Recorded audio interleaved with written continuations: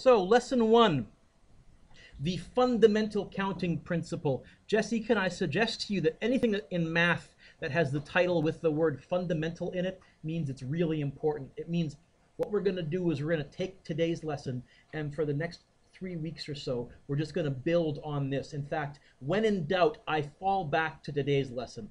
This is the one that I'm going to learn inside and out, and then I'm going to show you shortcuts along the way. But if I'm not sure whether the shortcut will work, I fall back to today's lesson. The fundamental counting principle. And our objective today is to develop the fundamental counting principle. It's really counting without counting. So here's our first example. It says a cafe has a lunch special consisting of an egg or a ham sandwich, E or H, milk, juice, or coffee, M, J, or C, and yogurt or pie for dessert, Y or P. It says one item is chosen from each category. List all the possible meals. Well, listing them would be tough, but if I wanted to do it in an organized manner, I would probably use a tree diagram. I would probably go something like this. I would say, okay, I can have an egg or a ham sandwich. And after I choose my sandwich, I can have one, two, three beverages. One, two, three beverages. M, J, C, M, J, C. And after I've had a beverage, how many choices do I have for a dessert? Two. I could have Y or P, Y or P, Y or P, Y or P, Y or P. Tyler, what was that? Oh, did you? I thought someone said so much writing. Oh, because that actually is, is, is part of the point here. Um, I, I'm not going to list them very often because it's too much work. What I'd like to know is how many meals are there, but I'd like to try and figure out how many possible meals there are without counting them. Now, I can count them right now because if I look at the end of my tree, I have 1, 2, 3, 4, 5, 6, 7, 8, 9, 10, 11. I have 12 meals. There's 12 possibilities. Can anybody see a way we could get the number 12 without listing them based on the information that we were given? Sorry, what? Two sandwiches times three beverages times two desserts is 12. And that's what the fundamental counting principle is. The fundamental counting principle says if you're making choices and you want to know the total number of choices, multiply how many choices you have for each step. Oh, sorry. As long as none of the choices overlap from category to category. If I had milk up here as a choice, it's a completely different issue as well. A milk as a if we're talking cards, for example, that's where sometimes choices overlap. So we'll have to deal with that later. So, the cafe features ice cream in 24 flavors. You can order regular, sugar, or waffle cones. Suppose you order a double cone with two scoops of ice cream. Okay, how many choices of cone do we have? Read the question carefully. How many choices for the type of cone are there? Three. How many choices of flavor for the first scoop? Two. No, not two. 24, right? How many choices for the second scoop? Well, now it depends.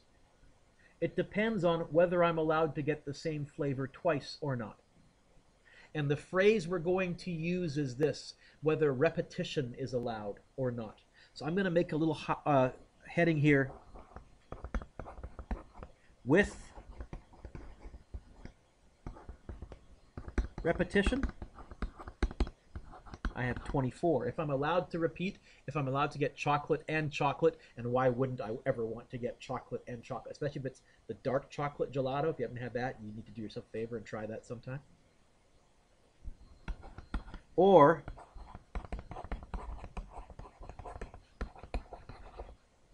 without repetition, only have 23 choices.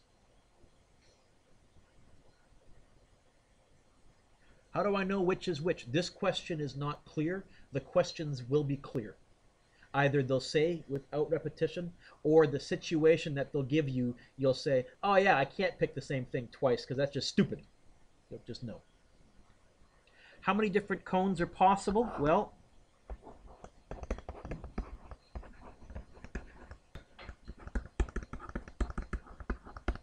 with repetition,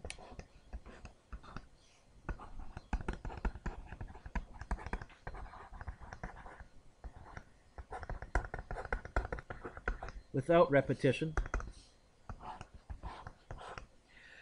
One, I'm, during this unit area, I'm going to give you certain tools, certain tricks of the trade, and one of them is simply drawing blanks. Miguel says, I'm good at drawing a blank. No, no, drawing blank lines, drawing blank lines, I mean here.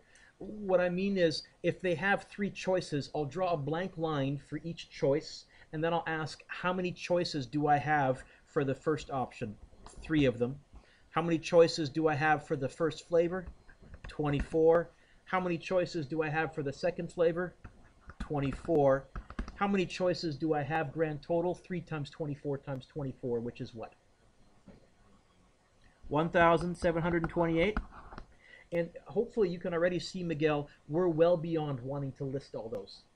Like the tree works as an initial step.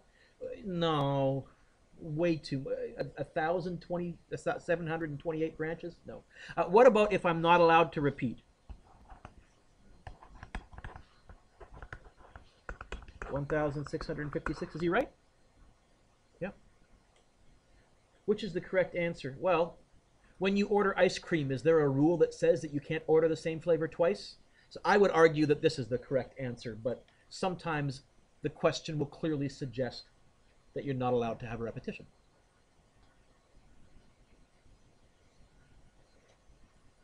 A computer store sells five different computers, three different monitors, five different printers, and two different multimedia packages. How many different computer systems are available? Well, there's four different steps for making choices.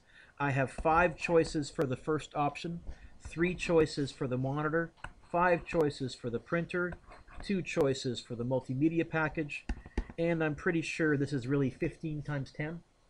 See it? I think it's 150.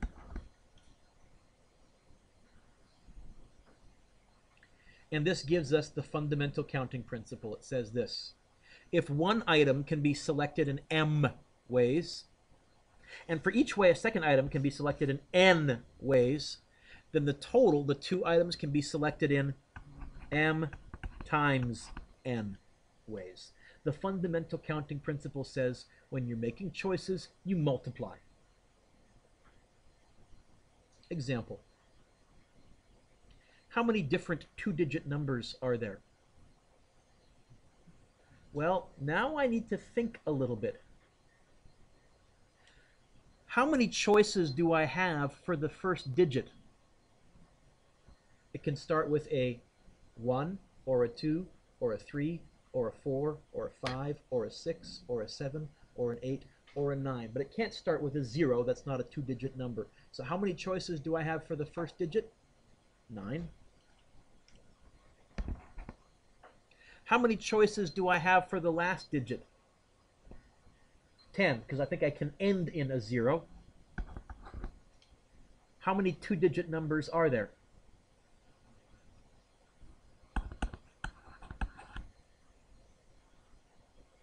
We're going to add a part B here. How many of those are odd? Let's find out. I would say I have two choices. Now, whenever they give me some kind of odd, 1, 3, 5, 7, 9. Yeah, sorry, should have explained that for my ESL student. Even, 2, 4, 6, 8, 0. So odd numbers the restriction to me, what makes an odd number an odd number? How can you glance at a number and tell me right away whether it's odd or even? What do you look at? If you see this, how do you know it's odd? Does that tell you it's odd? No. Does that tell you it's odd? What tells you it's odd? Okay, the restriction or the key I'll call it the restriction, the, the condition, it's the last number. I always do the restriction first. So even though I've written it like this, I'm going to deal with this. I'm going to say, how many choices do I have for odd numbers there? Five? One, three, five, seven, and nine. I have five choices. How many choices do I have for the first number?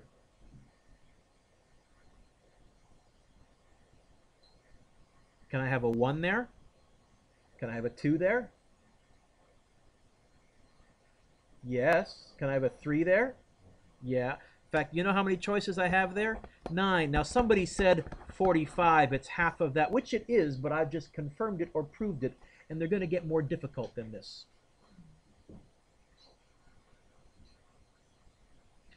So the first tool, the first skill, the first little uh, trick of the trade is drawing blanks. Yes, Miguel, you're good at drawing blanks. Uh, the second trick of the trade that I often use is the idea of a grab bag or a little Scrabble bag with Scrabble tiles, like example 3. Example 3 says, in each case, how many two-digit numbers can be formed using the digits 0, 1, 3, 5, 7, and 9 if repetitions are allowed, and B, if repetitions are not allowed? I honestly very often draw a little grab bag like that, and I'm going to put the zero numbers 0, 1, 3, 5, 7, and 9 like that, so I can kind of visualize until I get good at this.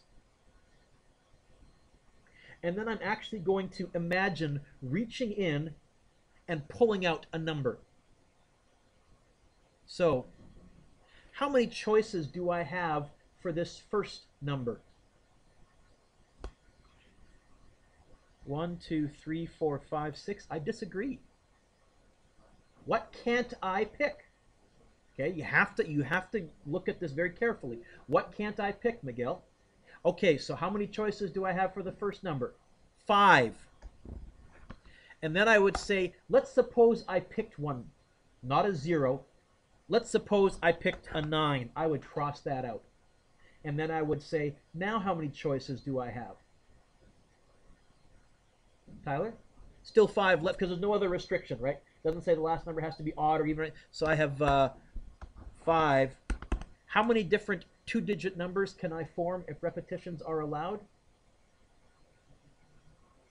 Ah, it's not five. If repetitions are allowed, I'm still allowed to pick that nine, aren't I? So how many choices do I have? How many choices do I have for the second number? Six. There's 30. Compare that if repetitions are not allowed, if I'm not allowed to pick the same number twice. I would start out by saying, how many choices do I have for the first number? Five. How many choices do I have once I've picked, for example, that 9? 5. So here's my question. How many numbers repeat? How many numbers have a repetition? Pat, 5. If there's 30 grand total, 25 without repetitions, the remaining five must have repetitions.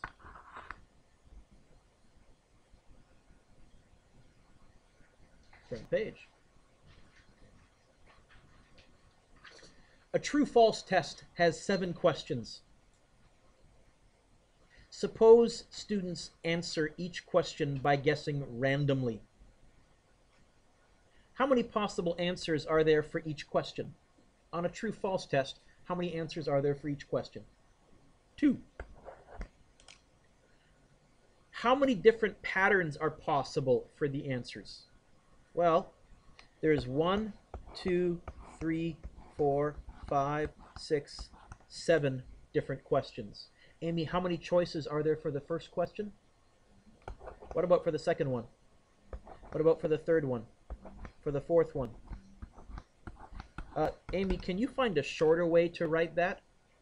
Instead of writing 2 times 2 times 2 times 2 times 2 times 2 times 2? Ah, very nice. 2 to the 7th, which is what? 128? Now, if this was an actual test, and there's 128 possible ways of making up answer keys, how many of those are the correct answer key? Only one. What's the probability of getting perfect? One out of 128. Come on, you kind of wondered, haven't you? Or better yet, instead of true and false, multiple choice. A multiple choice test has seven questions with four possible answers for each question. Suppose students answer each question by guessing randomly. How many possible answers are there for each question? Four. How many different patterns are possible for the seven questions on the test? It's going to be 4 times 4 times 4 times 4 times 4 times 4 times 4. It's going to be 4 to the 7th, which is what?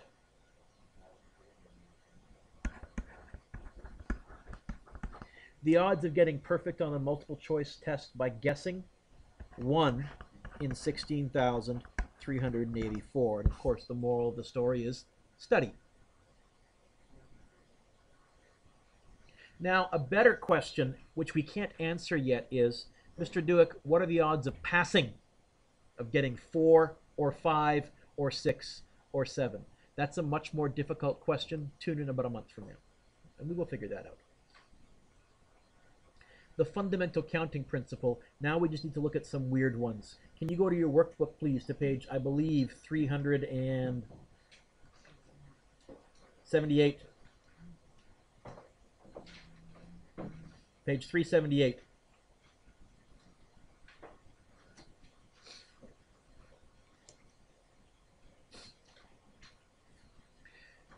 Some of these get nasty pretty fast.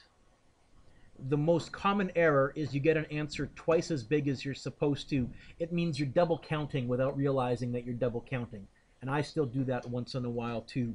Those of you that purchased the answer keys, of which there's still six left, by the way, this is where you'll find, I think, it very helpful because the answer keys, he does show you his steps. In fact, this is where I learned how to do most of it because I had only done uh, about three weeks of this in college.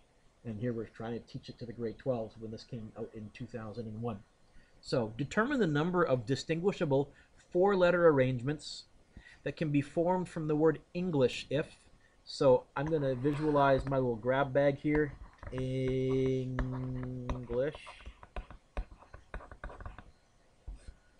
Right now, I'm picking my words very, very carefully. I'm making sure that none of them have the same letter twice, because that's going to be tomorrow's lesson, next class's lesson. What if you got two E's? We'll deal with that later. How many letters are we picking grand total, Justine? Look up. Four. Okay. So if letters can be repeated, one, two, three, four blanks.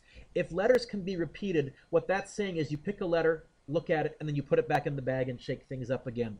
I think it's going to be seven choices, seven choices, seven choices, seven choices. It's going to be seven to the fourth, which is 49 times 49, 2500, uh, 2398. No, what's what's 2401? Okay. What if no letters are repeated, so we're not allowed to have repetition, which means when I pick a letter, it stays in my hand, and there are no further restrictions. So I'm going to draw one, two, three, four blanks. Erwin, how many choices do I have for the first letter? Seven. Now I hold that in my hand. How many choices do I have for the next letter? Six, then, then. Seven times six times five times four.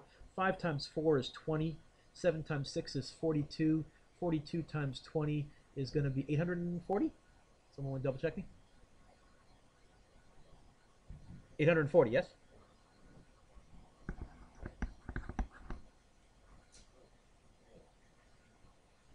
Okay. Now they're going to give me a condition. Dylan, can you read to me part two? What's the condition they gave us here? Now, I will always do the condition first, even if it wasn't the first letter. If they said the second letter or the fourth letter, I always deal with that first. I'm still going to draw one, two, three, four blanks. What's the condition? The first letter has to be what, Dylan? So I'm going to show that by drawing an E underneath the first blank, and I'm going to look at my grab bag and I'm going to say, how many choices do I have for a letter E? It's a trick question. How many ways are there to get an E? Only one. So I've picked an E. It's in my hand. Now how many choices do I have left for the next letter? Six. Then? Then? Five. Then? Four. If the first letter has to begin with an E, it looks like I have a total of 20 times 6, 120 choices.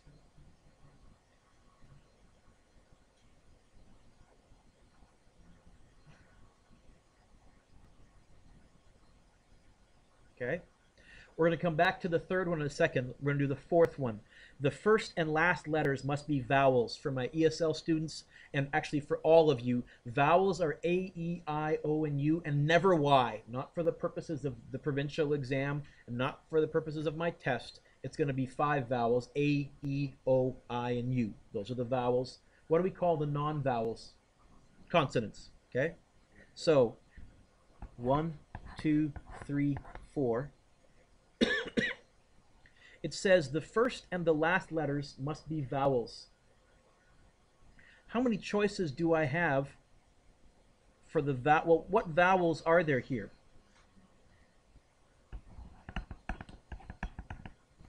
How many choices do I have? Two. Now, the last letter also has to be an E or an I. If I've put an E or an I at the front, how many vowels are now left for me to pick from? How many letters am I holding in my hand right now? Two grand total. The E and the I. How many letters are left for this choice? Five, then four. Forty.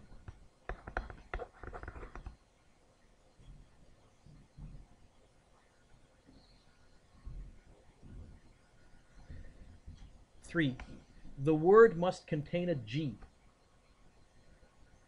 Does it say it has to be at the front or at the end? Just has to be there somewhere. So this one I'm going to do, I'm going to draw one blank separately and then three blanks here. And this is going to be the letter G. How many choices do I have for the letter G? One. How many choices are remaining for the rest of them? So I've got a G in my hand. How many? Six, then five, then four. Except this would be if G was in the front. In fact, I can put the G right there, right there, right there, right there. How many choices do I have for a location for G?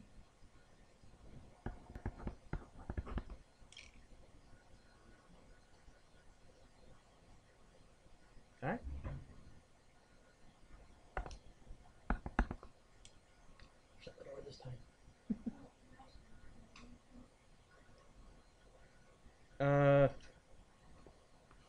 20 times 24, 480?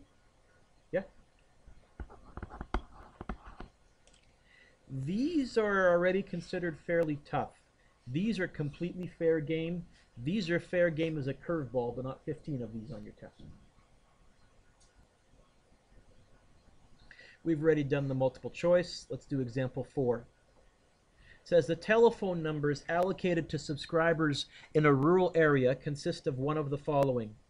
The digits 345 followed by any three further digits, or the digit 2 followed by one of the digits 1 to 5 followed by any three further digits. Kind of weird, but we'll live with it. Cody, looking for me You're just along for the ride? Okay. We'll be done in about five minutes. Like you to draw a little arrow pointing to the word or. And in combinatorics, the word or really is the same as adding a plus sign. In other words, when I read this question and I see the word or, in my mind, actually on my paper, I'm doing that already. says telephone numbers consist of one of the following the digits 345 followed by any three further digits or plus the digit 2 followed by one of the digits 1 to 5 followed by any three further digits. Well, let's walk through this. What has to go right here? 3, 4, 5. Because it has to go there, what it's really saying is you only got one choice. You got to put it there. How many choices do I have here? Well, it says any three further digits, and it doesn't say that we're not allowed to repeat. It doesn't say we can't use zeros. So I think we have 10 there, 10 there, and 10 there. Or the digit 2 has to go there. How many choices do I have for the 2? Only one choice. Followed by one of the digits 1 to 5. How many choices do I have if I have to put one of the digits from 1 to 5 there? 5. Followed by any three further digits.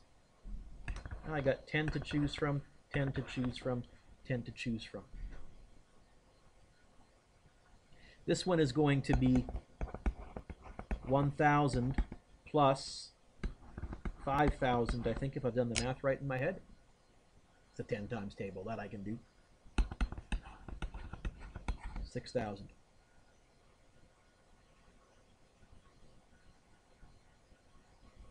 Okay. Classic question that we love to throw at you is license plate questions. So, car plates in an African country consist of a letter other than I or O, followed by three digits, the first of which cannot be zero, followed by any two letters which are not repeated. So it looks like we have six choices to make along the way here. Any letter other than I or O. So I'm going to write underneath here I, comma, O, and I'm going to draw a big X through them, not I or O, like a non-smoking sign. How many choices do I have then? 24, because there's 26 letters in the alphabet followed by three digits, the first of which cannot be zero. So this can't be a zero. How many choices do I have? Is there any restriction here? 10. Any restriction here? 10.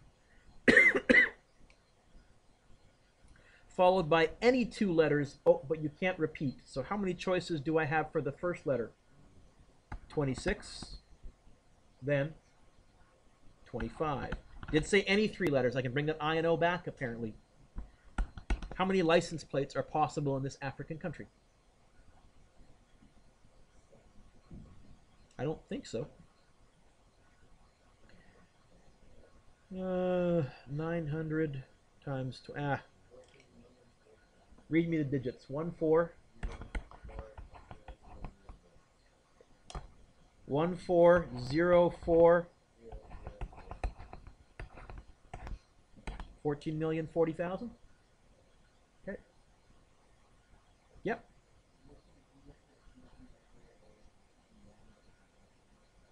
Louder, please. The first letter, like here? Or it doesn't say that I can't use I or O over here, so I, I assume it says any letters, any two letters. So I got 26 to pick from again. Yeah, I think it means that I can't use the, the, second over here. I can't repeat this letter. I don't think it's saying that I can't use this one. And if it did mean that, I think they'd phrase it that way. Okay? Two more, we're done. It says, consider a six-digit numeral. Note, if you start with a zero, that's a five-digit number. So no beginning with zero and I'm not going to tell you that from now on. I'm going to say to you, when I ask for a three digit number, don't start with zero, please. How many odd six digit numerals have no have no repeating digits? So we're going to have one, two, three, four, five, six. And just so I can visualize what's going on, I'm going to do my little Scrabble bag here. Zero, one, two, three, four, five, six, seven, eight, nine. There's my digits.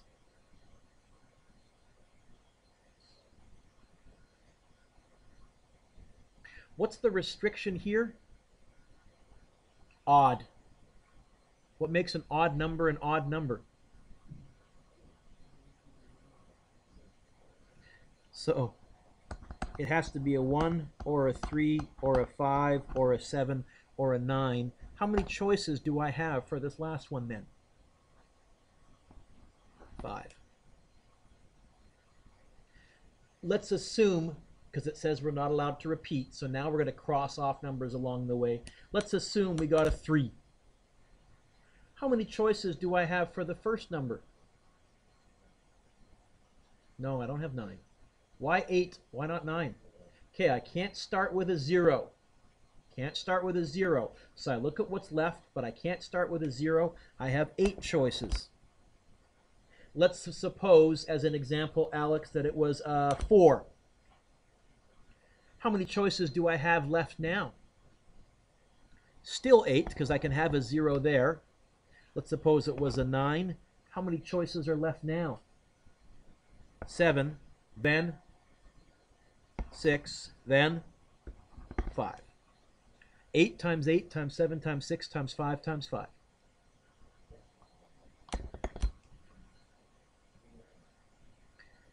Do my head? That's a 40. That's a 30. So that's 1200. 1200 times 56. Yeah, I can do this in my head. Uh, double 56 is going to be 112. 112,000? No, really? No, no, no, no, no, Mr. Dueck. You can't be off that much. I doubled it. I got an extra two in there.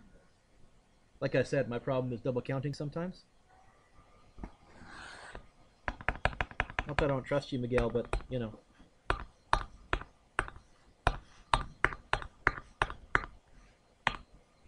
Sixty-seven thousand two hundred. Good gosh, Mr. Dueck, way off.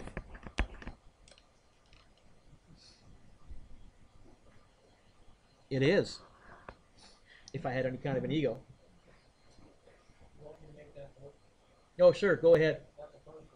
Oh no, I never make mistakes. Believe me.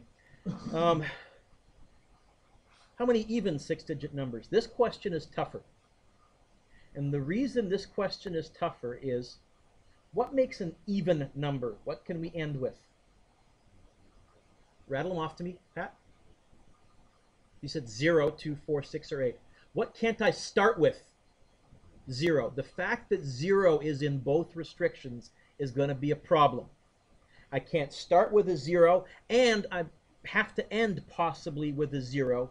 In fact, the only way to do this is to look at two cases. End in 0 or end in 2, 4, 6, or 8. And remember earlier I said the problem arises when one of our categories, one of our Scrabble tiles, happens to be in more than one condition. And the best way to do that then is to say, well, let's look at what happens if it's in one or what happens if it's in the other. And what does the word or mean?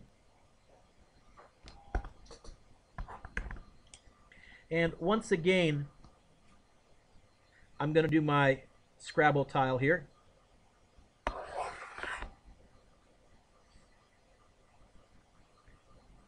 Zero, one, two, three, four, five, six, seven, eight, nine. We're doing six digits, so one, two, three, four, five, six. One, two, three, four, five, six. And in this first one, we're going to end in a zero. How many choices do I have to end in a zero? Only one. And the reason that's important is, okay, I just picked a zero. I'll hover my little mouse above it. How many choices are left for the first number now? Not eight, I don't think. Why? Why 9 this time? Because I've already removed the 0 from my Scrabble tile. I now have 9 choices. Let's suppose I got a 2. So I've used the first two. How many choices are left?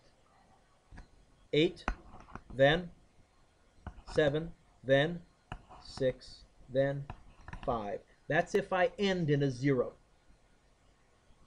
Or I could end in a two, four, six, or 8. And the reason we're having to separate these again is because 0 happens to be in both restrictions, in both conditions. How many choices do I have for a 2, 4, 6, or 8? 4. Let's suppose I picked a 2, this guy. How many choices do I have for the first digit? Careful. 8, because the 0 is still in the scra uh, Scrabble tile bag. So let's suppose now I picked a 2 and I picked a 1. How many choices do I have left now? 8 again. Then 7. Then 6. Then 5.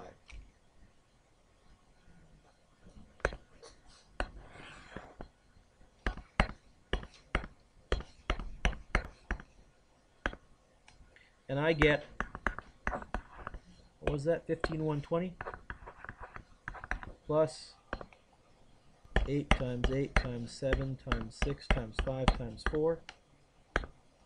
53760.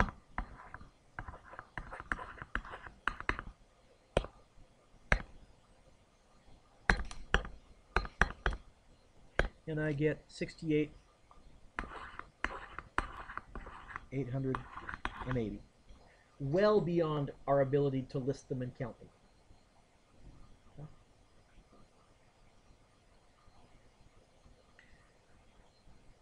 I skipped example 6 because I figured example 7 kind of covered it. Just really quickly, if they say that you have to be less than 400, how many choices would you have for your first digit here if we're doing three-digit numbers and you have to be less than 400? Two. And then whatever and whatever. What's your homework?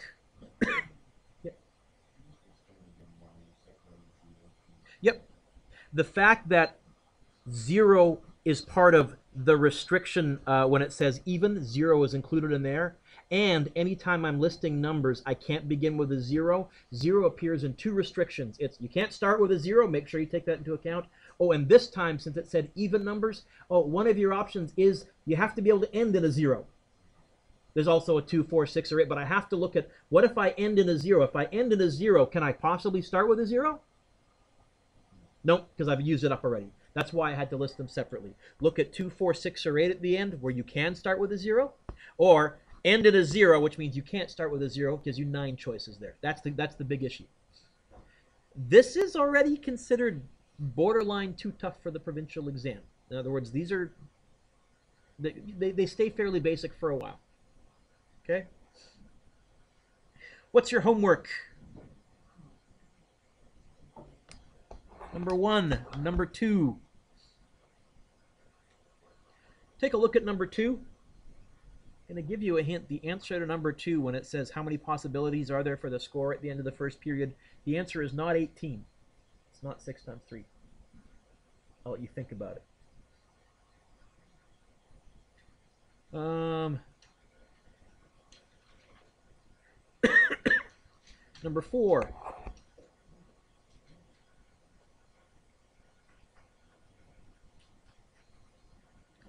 Five A,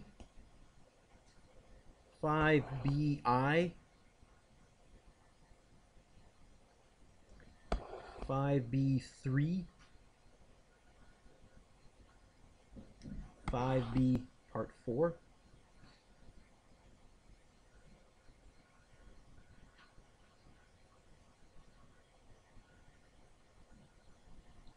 seven.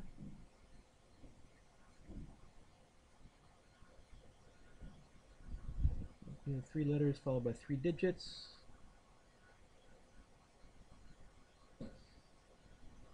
Try eight.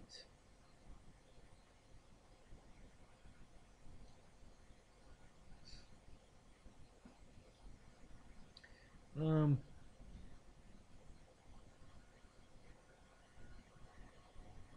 9A is good. 9B is good. 9C is good.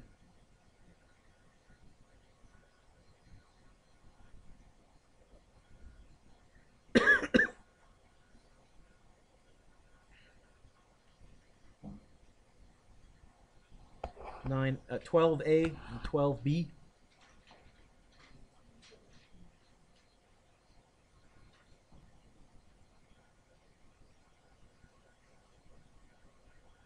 And we'll pause there. Okay. And then next class, remind me to show you the ABC menu, restaurant menu that I thought initially was mathematically incorrect, but turned out to be right.